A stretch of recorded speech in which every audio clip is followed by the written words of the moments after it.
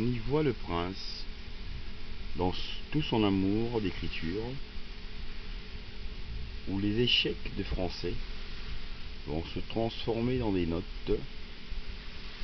des notes à ne plus avoir des échecs.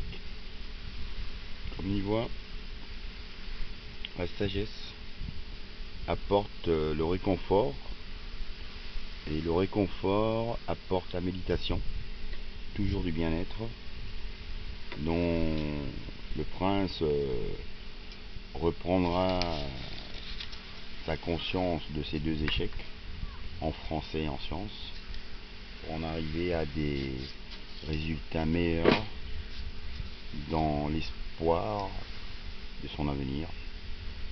Et voilà que ces bougies, on y voit l'encens, Siddhartha, dont représente euh, Bouddha, donnera la sagesse au prince sur sa réussite de décoller, décoller dans un ciel, l'armée de l'air, officier de l'armée royale. Et voilà l'attente de ces années où l'auteur attend de ses 4 ans, de ses 18 ans, réussite pour décoller dans un ciel et arriver dans un bungalow sur l'île de Koh Samui dont vous pouvez y voir la beauté. C'est un peu mystérieux. Voilà, sur une plage de mer.